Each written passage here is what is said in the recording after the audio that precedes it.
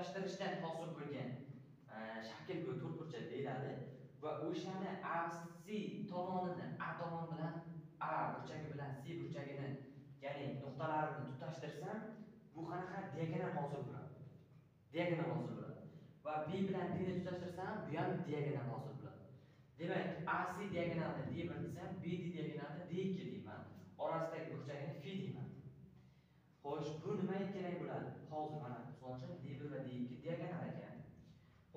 bu orqali mana bu ikkita diagonal orqali xo'sh bu ikkita diagonal va mana bu ikkita diagonal va orasidagi burchak orqali men nima natijaga erishaman degan savolga javobi men